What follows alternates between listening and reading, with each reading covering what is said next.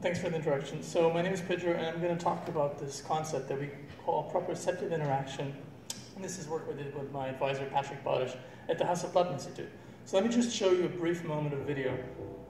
And let me point out that the interesting part here is that I'm actually not moving the slider, but that slider is moving me instead.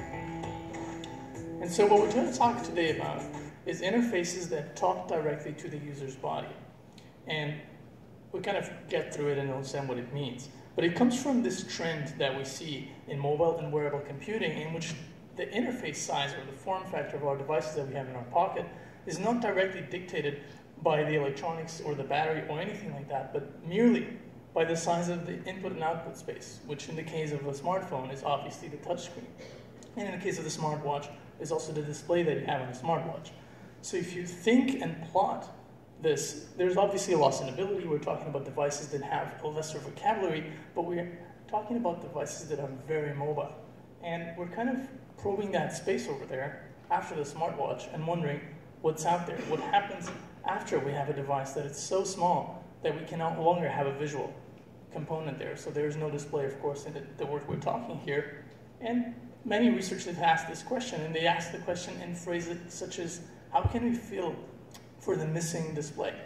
And of course, haptics is a solution, but we're particularly interested in proposing a new type of interaction modality here to kind of propose an eyes-free interaction that fills that space for the missing visuals. So let me run the video again, and now I'm going to explain what's actually going to happen. So the device is outputting a value by controlling my wrist. It's pushing my wrist up, and I feel that value as it goes through. Now I'm going to input something to the computer, such as a value, I'm going to push it down. I'm going to say it's zero now.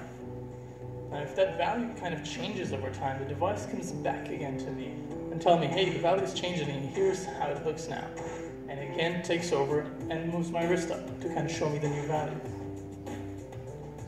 the way we're achieving this is by a wearable bracelet that achieves this concept, and it reads and writes to the here the user my muscles. It does so by outputting a value, as you just saw, by using electrical stimulation as in a manner to turn my wrist up, and the angle is kind of the new value that I'm perceiving. And I can input as well, right? I can control the computer by moving my wrist, which the device senses using an accelerometer to measure the angle of my wrist. So that's kind of the basis of what I'm talking about today, and which we call proprioceptive interaction. Is the idea that you kind of control the computer, but also respond, feel the response of the computer using merely the pose of your own body. So it's not a visual manner, or it's not an auditory, or don't feel vibrotactile stimuli, or anything like that. It's merely simply kind of feeling the pose of your own body. So let me kind of break down the, the definition of proprioceptive interaction in sort of a simple diagram you have the user on the left and you have the device on the right. But the truth is, the device that we are talking about should be in the middle. That's my hand or my wrist angle, if you will. Because the device over there on the right side, that was merely a hardware component that supports proprioceptive interaction, but is not the interactive device. So, okay, we got the hand that is an interactive device. So how do I control my hand? Well, everybody knows how the kind of the body works. I use my muscles and my nerves to kind of reposition my wrist as I do that, I immediately know, I can prove to you right now that I know where my wrist is, and I feel that through my proprioceptive system. Right? There's spindles connected to my tendons and to my muscles that inform my brain how my angle is on my wrist. That's just how the body works, nothing new here. Now, what I think is kind of interesting and new is that other side, the machine side on the right.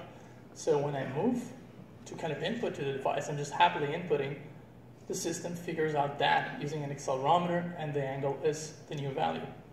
Now when the system wants to tell me a new value, it does so by posing my wrist, by changing the angle of my wrist, causing an involuntary contraction using electrical muscle stimulation, which then, and that's kind of the kicker here, I perceive using the proprioceptive system again. So there's kind of a double loop with the proprioceptive system, and that's why we're calling this proprioceptive interaction, right? Because that closes the loop between the user and the machine on that side. All right, so I'm going to show you an example of me actually using this.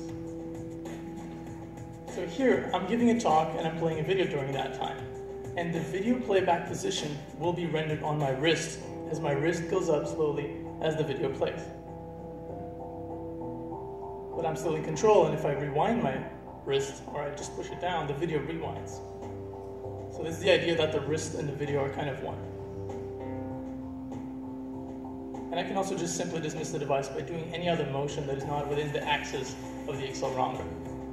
All right, so from kind of a interaction techniques perspective, the usability benefit of using proprioceptive interaction, although uh, the kind of vocabulary we are talking about here is very reduced and very simplistic, is that it frees up the other senses, right? So in what you just saw, I'm giving a talk similar to this, and I can focus on my primary task, which is doing this and not controlling the video, but still allows me to maintain eye contact, right? I was looking at that colleague that was asking me a question, so I wasn't really worried about the wearable device that I was wearing. And it's also ears free because there was no need for auditory input or output to tell me where I am in which part of the video. So now there's a second part of the story, which is why we are so interested in proprioceptive interaction. And I think it's because we're kind of discovering this new type of interaction modality that is offers sort of a very, very close integration with the human body and with the user. Because in a way, you're partially lending part of your body to become the device, and in doing so, there's this question of the, the device becoming an interface, and we find that kind of exciting. And I think um, that's kind of a, one of the possible directions for post-wearable interfaces. So we're actually building on a lot of research that comes from um, eyes-free um, and kind of wearable output, such as sticking a vibrotactile actuator in your pocket, such as you find in your phone. And of course, this is sort of a simple, simplistic way of communication that offers um, eyes-free output. And people have done that in a more expressive setting using such as uh, the musical fiber vibrotactile glove by Huang and Thad Starner that is more expressive kind of because it's an array of fiber vibrotactile cells. But also like we've gone to this and like, a couple of years back with gesture output and try to like not stay only on the output side, but merge output and input in a symmetric device. This was a device that was able to do both things, input and output, kind of in the same space. And this is sort of the, the thing that inspired us to, to build proprioceptive interaction, this kind of shared space between users and devices.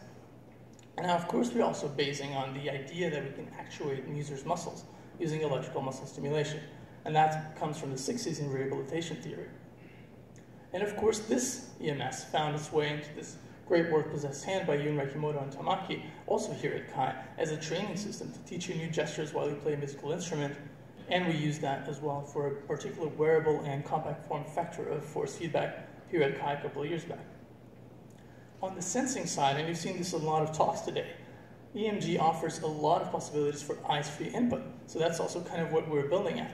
And piecing all these things together, what you can actually see is that it allows us to form a basis for the hardware in which we create a proprioceptive interaction, which is again the idea that only by muscle poses you can kind of interact input and output.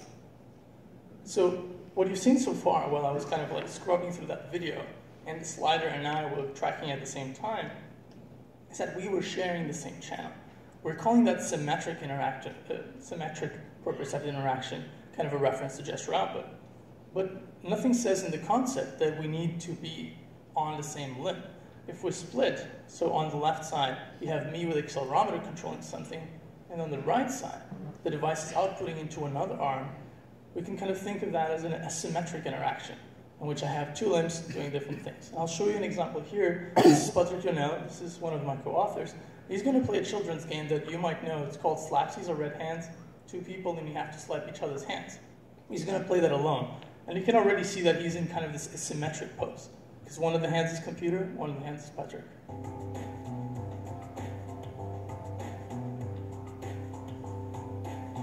Patrick's basically trying to avoid the computer hand to slap him.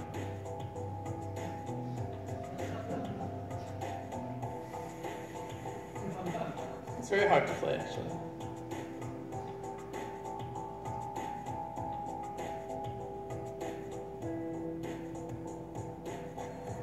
So you can kind of see already the asymmetry happening, right? That is the hand that is being controlled by the computer, and the sensing device actually changed in this particular. That's a kind of a technical difference because we're no longer looking at like the angle variation in the pose. We're just looking at a collision to see if there was like a, a loss in the score of the game. So we fitted a microphone, just as you saw in Baptiste's talk, with its MMG sensor basically in the wrist to kind of compute that collision. All right, so um, another one that I can show you quickly is yet another example of, of kind of a proprioceptive asymmetric interaction. This is a game called Imaginary Palm, and this is my co-author Alex playing the game. Alexandra.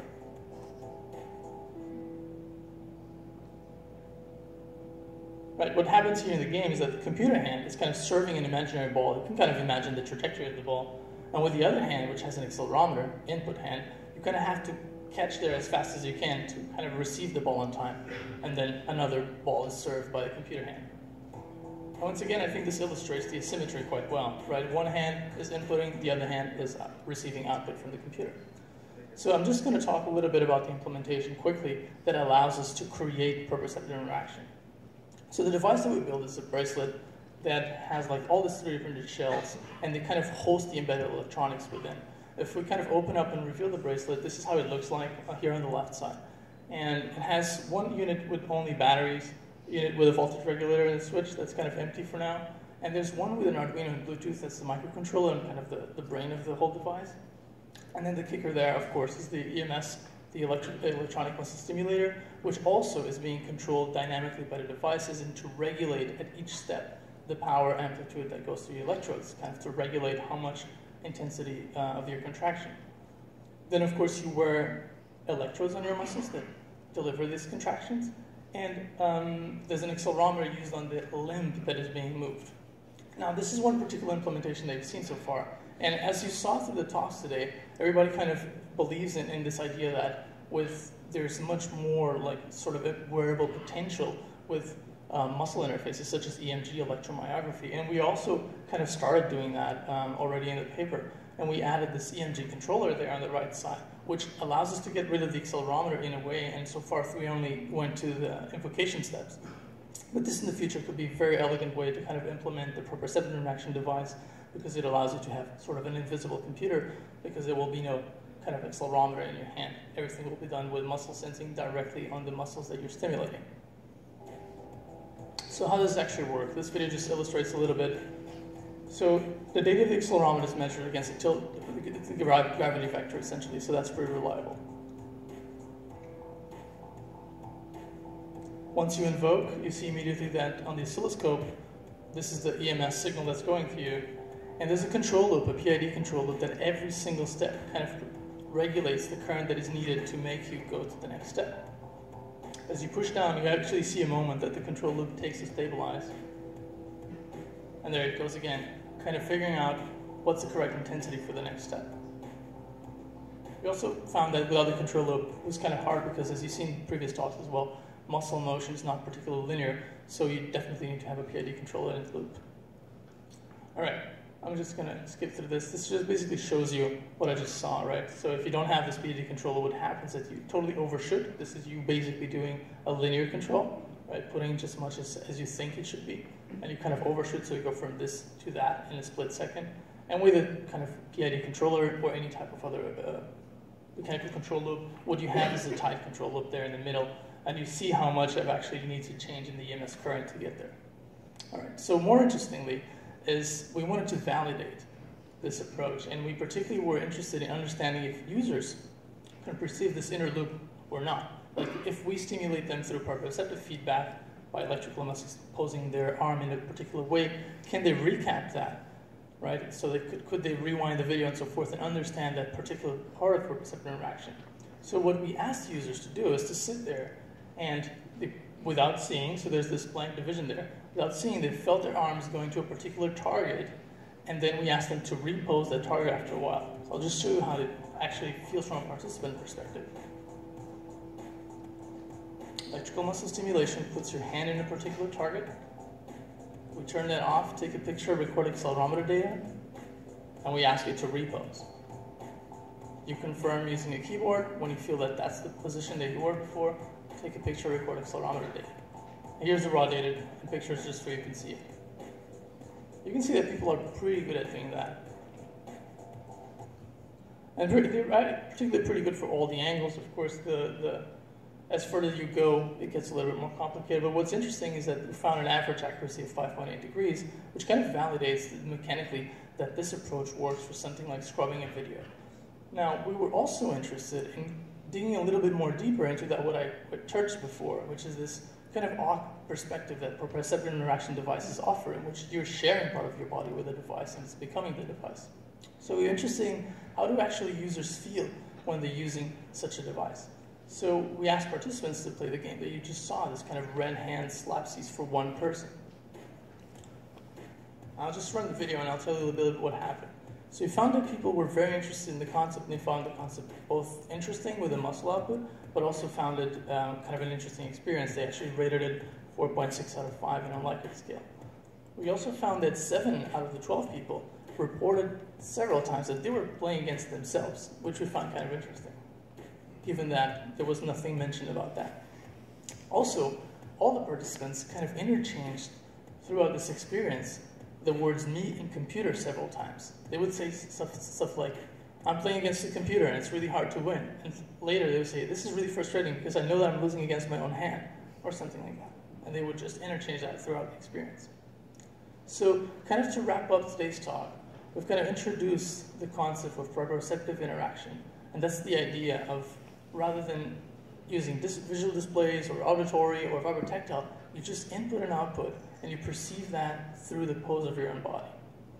And I kind of particularly think this is exciting because this could be the post-wearable devices world, in which interfaces are very small, they're kind of hidden, and they fuse with the body, and that's what allows them to kind of go post-wearable.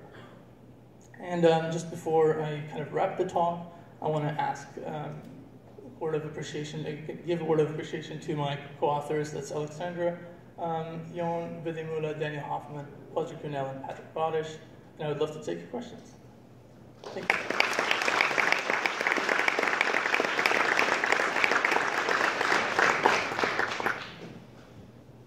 Oleg Texas State University. So you suppose that all subjects are cooperative. Let's say if I'm not cooperating with the device, is the current increasing or what is yeah. happening? No, that's a, that's a great question. So when you start, the first time you use the device, and in that case we did a calibration step, which is sort of to say like what's the minimum and maximum values that you're gonna kind of withstand that you find totally pain-free. Within those pain-free ranges, that's what the device will operate. So indeed, if the device wants to output a 99% value, it will push up. If you're tensing more, it will push up until that value that you set as a totally pain-free experience. Okay. So that's kind of how it goes. It's always between those those values, yeah. Great talk. Thank you so much. Mm, thanks. Hi, uh, Graham Wilson from the University of Glasgow. So in your first user study, um, did you get an idea of what angle the participants thought their hand was at? Or were they just effectively matching the muscle tension? Yeah, so we ran different pilots, but that's one of the things we wanted to try out, and we ended up not doing that. But so we, we basically at this stage we asked them to repose. I guess that would be the, the next step to also ask them, tell us which level you think you are. Um, that could be an interesting thing to also understand, yeah. But we didn't. We didn't. Run, we don't have that data at this point yet. Thanks. That's cool. Hmm.